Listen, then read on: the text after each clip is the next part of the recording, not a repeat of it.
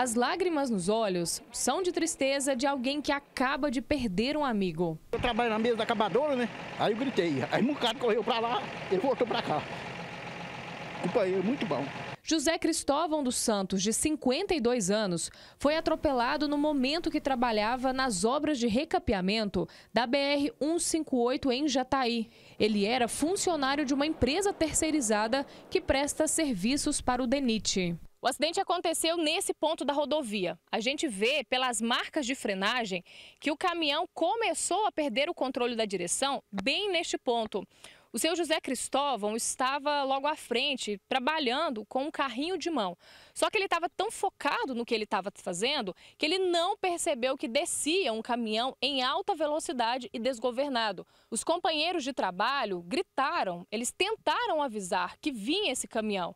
Só que essa tragédia não pôde ser evitada. Se eu tivesse corrido para aquele lado ali, eu tinha pego eu. Mas o negócio que eu, eu não tive ação de correr, eu fiquei quieto. Aí o filho dele gritou.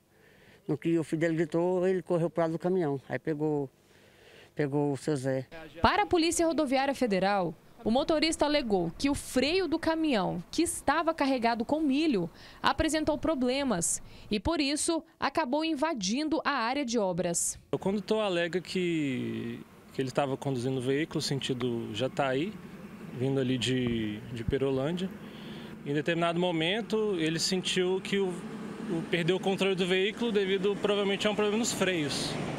É, tentou acionar várias vezes, freio motor, é, não, não teve sucesso nisso e provavelmente isso foi uma das causas do veículo ter invadido a pista contrária, o acostamento e acabando colidindo com, com o trabalhador da obra lá do, do DENIT. Ainda de acordo com o agente, um dos filhos da vítima, que também é funcionário da empresa, presenciou o atropelamento.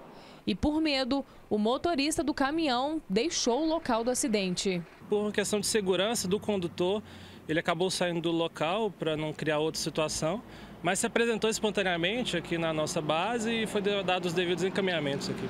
O condutor do veículo passou por teste do bafômetro, que não indicou ingestão de bebida alcoólica. O corpo de José Cristóvão foi encaminhado para o Instituto Médico Legal de Jataí. E a polícia aguarda o laudo pericial para apurar as causas do atropelamento. Seu Zé é uma pessoa alegre, é uma pessoa muito alegre, vai deixar saudade.